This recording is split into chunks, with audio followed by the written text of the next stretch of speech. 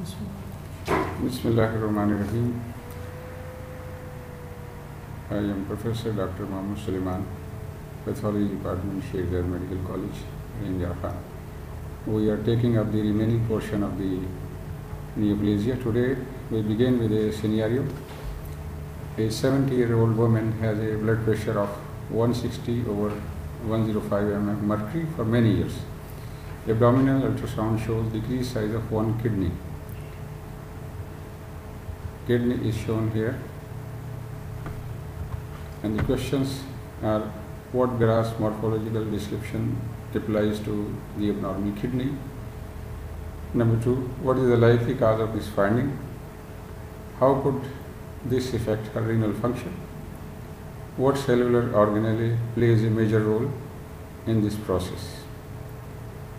Finally, five, question number five, what cellular protein processing pathway is involved? So here is the kidney, and this is a very important scenario to be asked usually in the examination. So uh, you are supposed to find answer to this.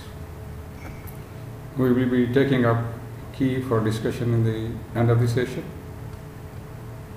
So now we take up the definition of neoplasia once again. Literally means a new growth, and the new growth is a neoplasm. there is another term which is known as tumor, and this term is applied to the swelling caused by inflammation. Swelling is a transient abnormal enlargement of a body part or, or area caused by not by neoplasm, that is proliferation of cells, but by accumulation of interstitial fluid, fluid in the tissues. It can occur throughout the body, generalized, or it can affect a specific part or organ, localized one. Here the lower leg is shown with a painful swelling, which is a fluid filled swelling, and this is the post inflammatory or something hot has fallen over the leg, and you are supposed to guess at your own what is this. And the discussion about this may be in the end of the lecture of today. Another is the swollen eyelids and lower part of the eye. So the, this is another swelling. Here is another swelling which is painful and now it's behind the ear. So it, it's very tender to touch and there is a small uh, necrotic area visible circular small area behind the ear almost in the center of the swelling. So you can guess what it is. And now we are just taking up the tumor is a proliferation of cells which persist after the stimulus which initiated it. Which initiated it has been withdrawn. Stimulus is withdrawn but the proliferation is continuing. It's an abnormal growth of cells that serves no purpose. A benign tumor is not a malignant tumor, which is a cancer. It does not invade nearby tissues or spread to the other parts of the body the way the cancer can. In most cases, the outlook with the benign tumor is very good. Now, a brief understanding of the cancer cells along with the difference from the normal cells. So, cancerous cells, in the above panel you can see the normal cells, well maintained NC ratio, and then in the lower panel where there are the cancerous cell, many cells continue to grow and they divide. So, there is on the left side, in the lower panel, the cells are increasing number and they are continuing to divide with a visible mass right on the not only in the image but also there in the body parts where it is located. Variation in size and shapes of the cells is known as pleomorphism and nucleus is enlarged, larger and darker than the normal. So deep staining nuclei are because of uh, because of the increased chromatin. This is known as hyperchromasia. And in the next abnormal number of chromosomes arranged in a disorganized fashion. So look at the open chromatin and the chromosomes are shown here. And in the last, in the lower panel, cluster of cells without a boundary. So they are towards the aggressive neoplasm now. And then the simplified scheme to show the basis of the cancers. Acquired environmental factors, chemical radiation and viruses, all these are DNA damaging agents. When the normal cell is under attack by the chemical radiation and viruses, either the DNA, genome, DNA, genomic attack is there and DNA is damaged. So I, there is attempt by the repairing system. Successful DNA repair will keep it back to the normal cells. And if it is failure to DNA repair, the inherited mutations, the genes affecting DNA repair, the genes affecting cell growth or apoptosis, they are influencing and all this will result to the failure of DNA repair. Mutation in the genome of somatic cells will give rise to three things.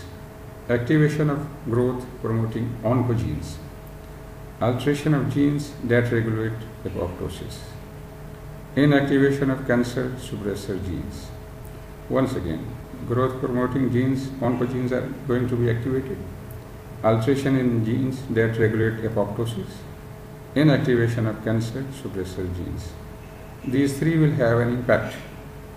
The expression of altered gene products and loss of regulatory gene products. This will lead to the clonal, clonal expansion, additional mutations, that is the propagation of tumor, heterogeneity and a malignant neoplasm. So this is a very simplified flow diagrams to have a basic concept how a normal cells get transformed to a malignant neoplasm.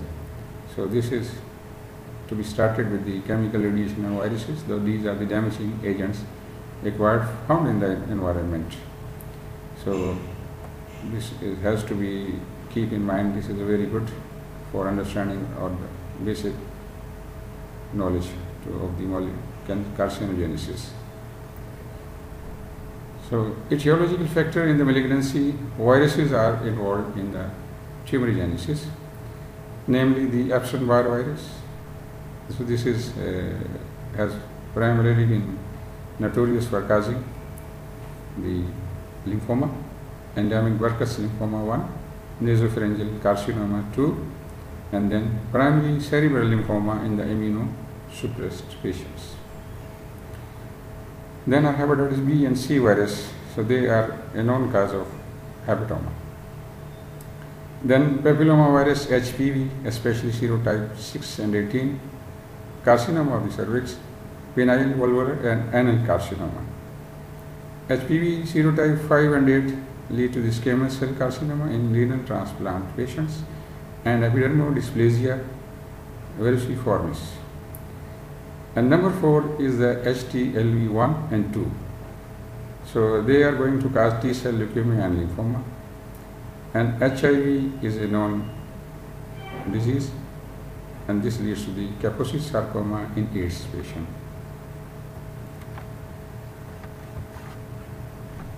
Critical gene in cancer developments. So cellular oncogenes or proto-oncogenes are normally regulating genes which serve some structural homology with the transforming retroviral oncogenes, V oncogenes.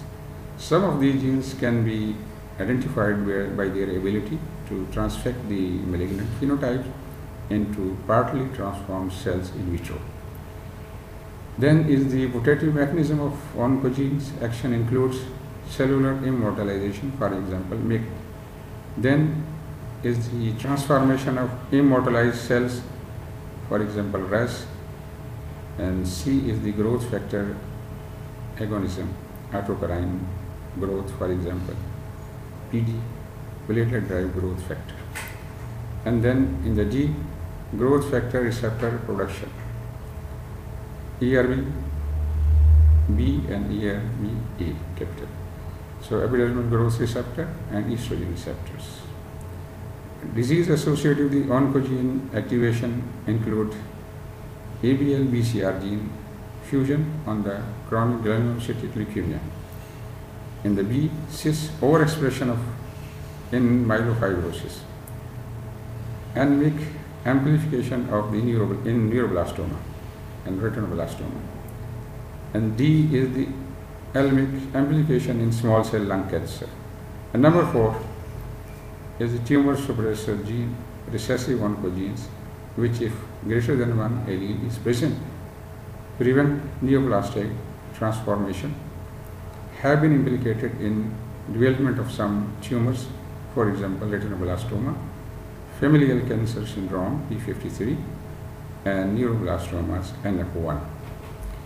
So, critical genes in cancer development. So, oncogenes, proto-oncogenes is a very important regarding their definition and how they are going to cause the cancer has been shown in one, two, three, four points with their respective cancers. So this has to be taken as very important for examination point of view and from Viva also. So here is the model shown by the RAS gene. So in the panel, upper one, growth factor is a rounded ball like shown here with the receptor underlying it. So there is a bridging protein which is uh, which when activated so and the, this anchoring protein is farnesyl membrane anchored protein yellowish in the color the underneath it is the inactive RAS. RAS is a oncogene. Usually uh, it's involved in many cancers. So this is a model shown in here, in this image, how this operates. Farnesyl uh, membrane receptor is very important for the RAS anchoring gene. Inactive state is there. Bridging protein is the purple on the left side of inactive RAS gene. Two phosphate are, are attached and the GDP is there now. So when inactive get activation, so it give, gives off two phosphate and then it is uh, converted into uh, you know, upon activation this there is addition of one phosphate. So GTP has got now three phosphate on the right side of the arrow. So phosphate attachment changes from GDP to GTP and the RAS become active on the right side and then they recruit GAP which is a yellowish capsular shape. So they, then there is activation of MAP kinase pathway and this has a, a transcriptional activation into the nucleus and the cell, cell, cycle goes on in progression. So anemic gene is the there which has which is a oncoprotein, uh, oncogene. So this is you know also involved in the cell progression. So this is a general model to be make uh, everyone understand how the genes, RAS gene, which is a mutated one, is involved in the cancer production. How it works is shown in the image now.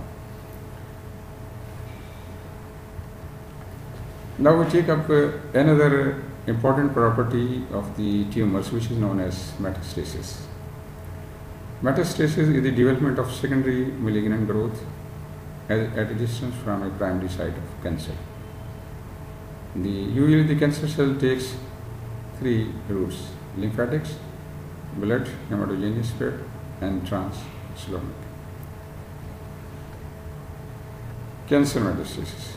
Look at the primary tumor shown in the above image and then is the detachment of the tumor cells and then they start attachment with the blood vessels and the capillary is shown here endothelium is pinkish.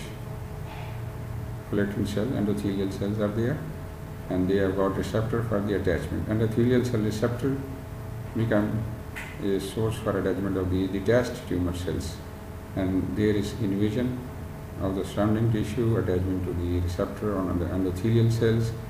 So they usually intravasated into the vessels. so once they are inside the vessel, they can travel to any far distance. So after a time, there is extravasation. They can just break, uh, they can just break the basement membrane of the blood vessels and then they are outside it, showing in the lower panel under the heading of extravasation. So they are entering the bloodstream, they are traveling through it and then extravasated to lodge at a distant site. So this is known as metastasis. Whereas macrophages have another role in that, shown on the left side. macrophages shown here. So they give angiogenetic factors and then they are also helping out to attach that the angiogenic factors uh, have got receptors on the endothelial cells.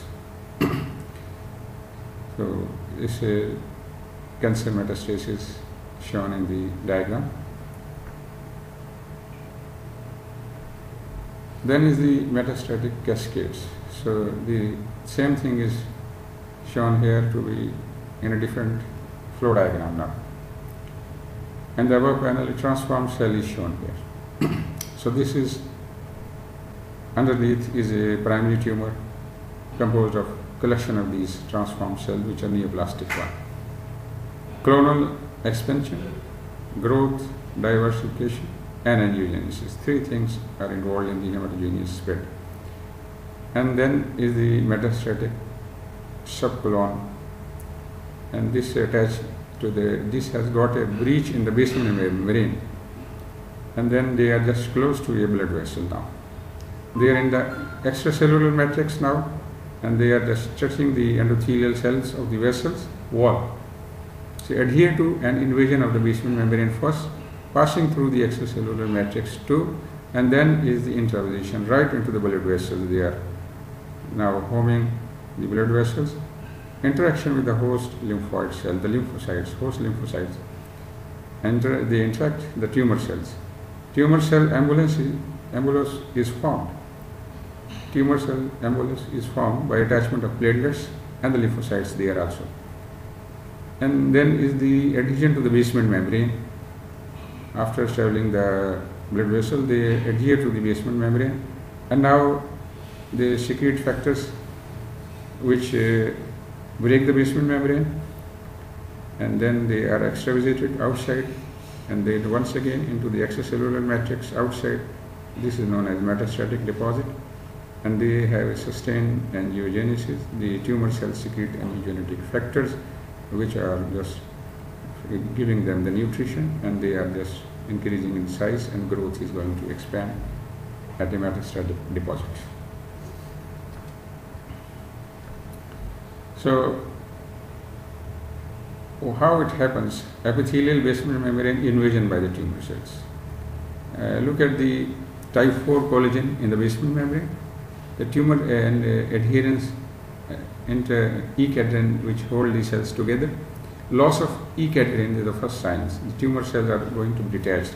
There is a gap on the right side in the upper panel uh, layer of the cells. So E-cadherin has been lost. The molecules are now wide apart and type 4 collagen is present there and the tumor cell will get attached to the basement membrane by laminin receptors shown here. So attachment in the B panel type 4 collagen and the cells are shown. The tumor cell has fibronectin receptors, so they are right into the basement membrane and the laminin receptors are there. so attachment to the basement membrane via laminin receptors and secretion of proteolytic enzymes including type 4 collagenases and plasminogen activated. So they are breaching now, attacking the basement membrane and they are degrading to the basement membrane and the tumor cell migration is usually there and then is the migration to form the secondary deposit. So I think it's enough for today. So what cellular protein pathway is involved? So answer to the first is small contracted kidney is atrophic and the, how this change occur, diminished blood supply, renal artery stenosis from the atherosclerosis with chronic ischemia. Although remaining individual cells in the parenchyma are smaller, the cellular atrophy is there, most of the organ shrinkage is attributed to the cell dropout because of ischemic injury. Diminished blood supply leads to increase in renin secretion uh, by the hyperperfused kidney, causing hypertension. So this is the basis for the hypertension in that. And lysosomes are going to play their vital role in the cellular atrophy through autophagy. And finally, the cellular atrophy is mediated through increased protein degradation by ubiquitin